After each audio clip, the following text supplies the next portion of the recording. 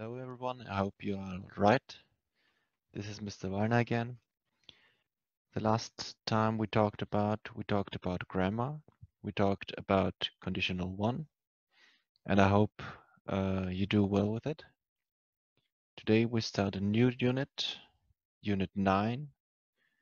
I teach you about teenagers in different countries and the rules they have in those countries. Hallo, ähm, Mr. Wallner ist wieder hier. Letztes Mal haben wir über Grammatik gesprochen, wiederholt, über die Conditional One. Heute fangen wir eine neue Unit an, die Unit 9 im äh, Buch. Da geht es um Teenager in anderen Ländern und die Regeln, die diese befolgen müssen. Okay.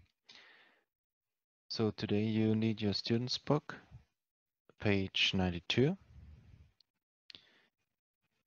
Unit 9, it's called Young People Today. Again, we're talking about teenagers in different countries and what they are allowed to do or not allowed to do. Okay, to be allowed to. Etwas dürfen. Oftentimes you have rules for things you are not allowed to do. For example, at, at the moment we are not allowed to go outside if it's not necessary. Also normalerweise gibt es Dinge, die du ähm, nicht tun darfst. Zum, zum Beispiel gerade im Moment, wenn es nicht nötig ist, darfst du nicht rausgehen. Ja? So um, on the left hand side, you see how you say things are not allowed. I am not allowed to drink. Könntest das wortwörtlich übersetzen mit mir ist es nicht erlaubt zu trinken. Umgangssprachlich sagen wir aber einfach, ich darf nicht trinken. Ja? Aber wenn du es in Englisch sagen möchtest, musst du die Form von allowed zu verwenden. I'm not allowed to drink. Ich darf nicht trinken.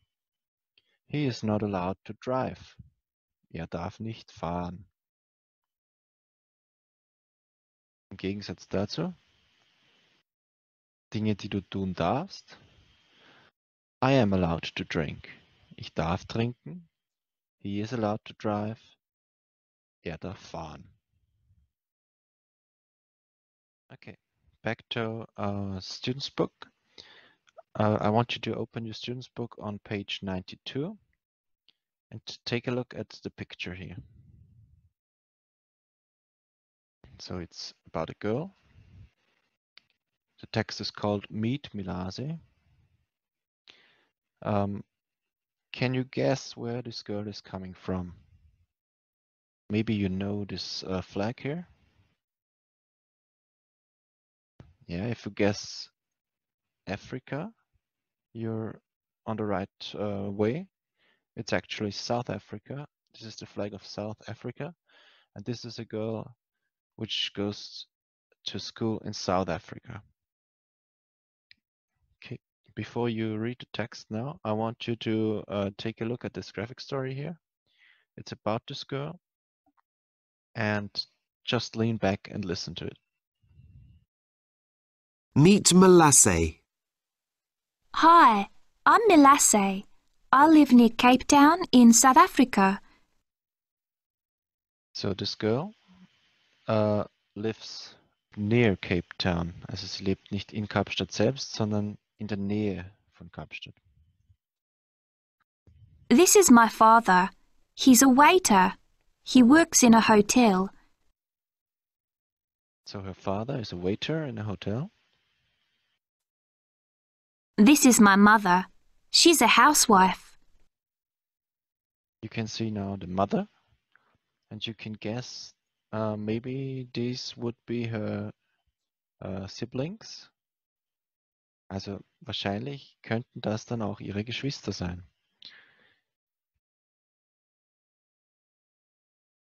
I have three brothers. They are six, eight, and eleven. Yes, these are the siblings of her. So uh, three brothers.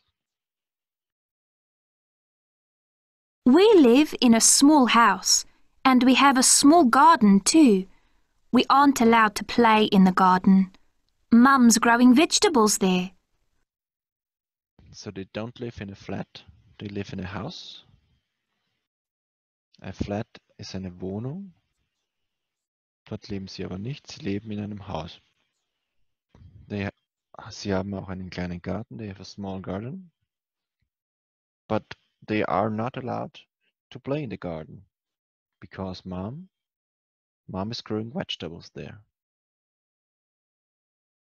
On Saturdays and Sundays, I go to the youth club with my friends, but I'm not allowed to go out when it's dark. My parents say it's dangerous. So on the weekend, she goes to the youth club with her friends, um, but she isn't allowed to go out when it's dark because it's dangerous. Pausiere das Video jetzt und lese dir nochmal ganz für dich allein in aller Ruhe durch.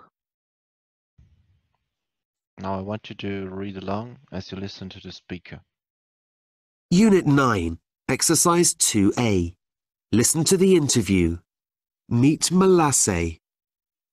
Malase, you live in South Africa. What languages do you speak there? At home, we speak Zulu, but at school, we speak English most of the time because all our subjects are in English. So Milasi speaks two languages. Do you know which they are? Yes, she speaks Zulu. Is an African language and English. What language does she speak in school? Yes, she speaks English most of the time because her subjects are in English. When my parents were children, they weren't allowed to speak Zulu at school. That was in the time of apartheid. Yeah, I see. That was terrible, wasn't it? So when her parents were children, what weren't they allowed to do?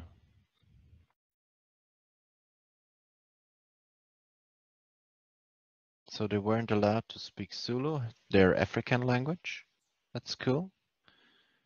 This was in the time of apartheid. Apartheid was a time from 1948 to 1994 where people of color weren't allowed to mix with with white people, with Europeans.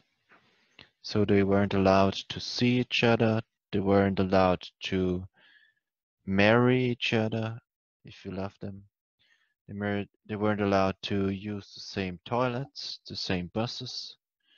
Also die Apartheid war eine Zeit zwischen 1948 und 1994, ähm, wo es Menschen in Südafrika nicht erlaubt war, sich untereinander zu mischen, sozusagen. Also sie durften nicht miteinander heiraten, sie durften nicht gemeinsame Verkehrsmittel, Busse nehmen, sie durften nicht in, manchmal wurden sogar, ähm, gab es verschiedene Gebäude, die sie nicht betreten durften. Ja, also sie mussten unterschiedliche Schulen verwenden, unterschiedliche Krankenhäuser.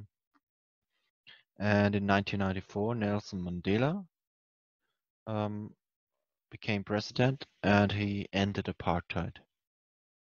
He was a very famous person uh, who spent 27 years in prison because he was so much against apartheid. He protested against it and they put him into prison for a long time. Also Nelson Mandela ähm, wurde 1994 Präsident und hat dann endlich nach vielen, vielen Jahren die Apartheid abgeschafft. Ähm, er hat aber auch sehr viel dafür bezahlen müssen. Er hat über, über 20 Jahre im Gefängnis verbracht, 27 Jahre, glaube ich, waren es. Und äh, aus dem Grund, weil er protestiert hat gegen diese Apartheid. Ja. Okay, let's move on. Isn't it? Can you tell me a little about your family? Well, my father's a waiter in a hotel and my mother's a housewife. I have three brothers who are six, eight, and eleven. Do you live in a flat or a house? We live in a small house. We have a small garden too. So, can you tell me something about her family? How many siblings does she have? Where do they live?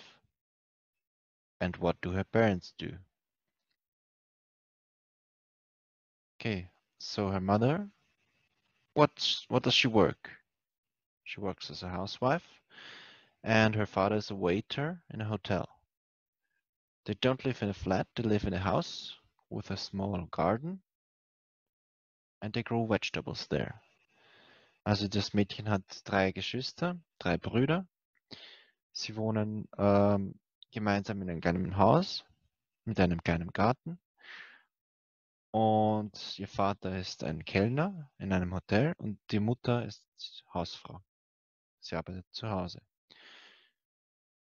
We aren't allowed to play in the garden. My mum's growing vegetables there. And where do you and your friends hang out?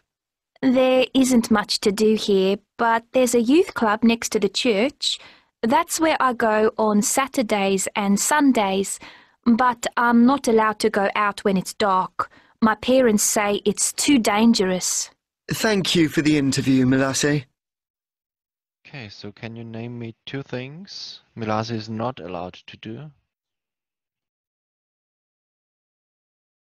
What is what is she not allowed to do in the garden? Yes, she's not allowed to play in the garden because her mom's growing vegetables there. And what is what else is she not allowed to do? At night?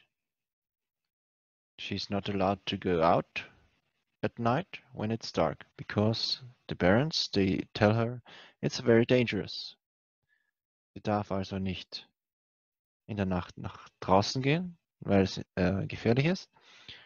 Und sie darf nicht im Garten spielen, weil die Mama dort Gemüse anpflanzt. Okay. So, cover, try to cover the, the upper part here. Leg irgendwas drauf, verdeck den Text da oben und versuch jetzt in aller Ruhe diese Fragen hier zu beantworten. Also nimm dir dein Buch her, uh, nimm einen Bleistift, take a pencil and uh, write your answers into those lines. Nimm deinen Bleistift und schreib deine Antworten hier rein. In einer Minute werden wir dann vergleichen.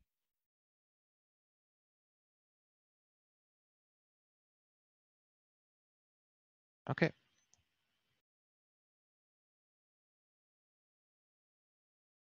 I show you the results now.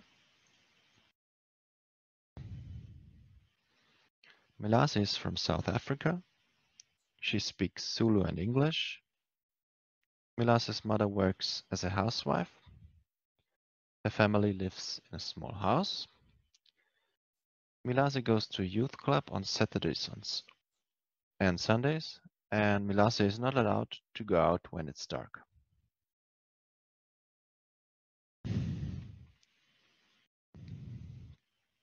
So what I want you to do as your next homework, you have time until Wednesday.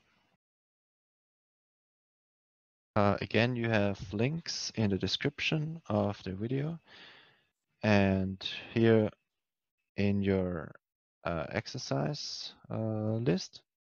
Also du hast wieder zwei Aufgaben, die zwei Links, die du auch hier findest in der Videobeschreibung beziehungsweise bei der Aufgabenliste im EduSchool. Okay, this is your first exercise. Uh, you have to find the words which are missing here uh, in those sentences. Uh, let's make the first one together. Milase lives in. So do you know where she lives? She lives in South Africa, yes. I actually um, only use the word Africa here. So you have to find the words and just mark it and it will go automatically automatically here um, green if it's correct. The words can be horizontal or vertical. You don't have to look for words uh, diagonal. And second part of your homework, and this would be your second exercise. It's also from the text we just read together. You have to find two, you have to match two parts that go together. For example, her parents weren't, what were they? They weren't allowed to speak Zulu at school. So you have to match them and they glue together. And you do this for each, for every one of them. And then it's very important, you have to check it. Also du, du fügst sie zueinander, die zusammengehörenden ähm, Texte, zusammengehörenden Blasen. Und ganz wichtig ist, dass du am Schluss dann hier diesen Check-Button drückst. Dann siehst du, ob es richtig war. Und ich sehe automatisch, ob du die Hausübung auch richtig gemacht hast. Und ich tue mir wesentlich besser beim Verbessern dann. Okay, so you can match them like this. And if you think it's wrong, just click here again and it goes apart again. Drag them around just as you wish. So before you leave, I just want to show you one last thing. We talked about um, teenagers, a teenager, Milase, who goes to school in South Africa. And I found uh, an interesting uh, YouTube video about another children in South Africa who also live near Kapstadt, uh, Cape Town, uh, but have a very different life.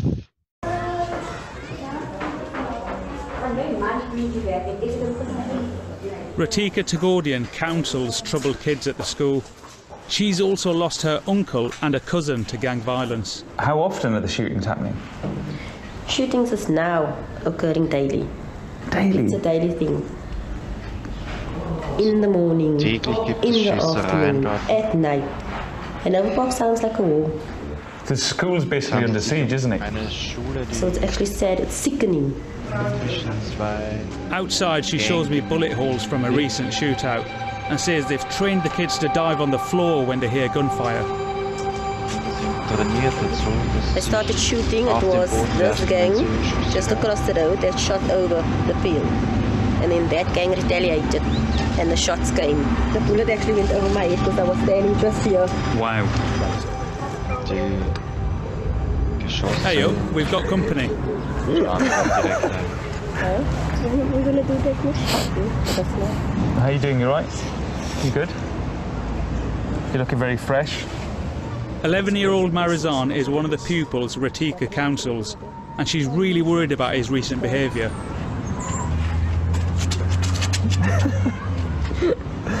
What's he like? I like that Marazan you saw now. Yeah. We always tell him, be that Marazan. Don't be the angry Marazan.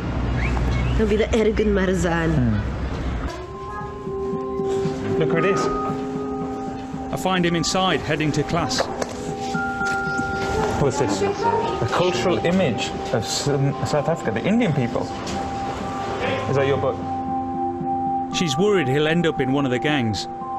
She says he's super bright, but his behaviour is holding him back.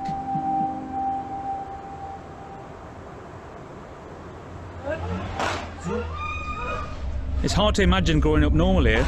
This gun battle was just a few streets from Marizan's home, witnessed by another young kid. I know that man. Mommy, I know that man. Nearly two and a half thousand have been murdered across the city so far this year. It's one of the deadliest periods on record. A lot of people here say most of the time the police don't even respond. 2000 Leute sind, sind ja schon gestorben dort. Und die Polizei weiß gar nicht mehr, wie sie darauf reagieren. Sie haben auch mittlerweile schon die, das Militär dort. Das aber auch nicht. I want to know what's going on with Marizan. Okay. So I'm gonna like meet him at home after school.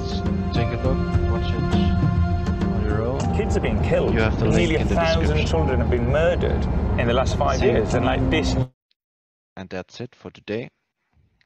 So um, see you next time. See you on Wednesday, and have a nice day.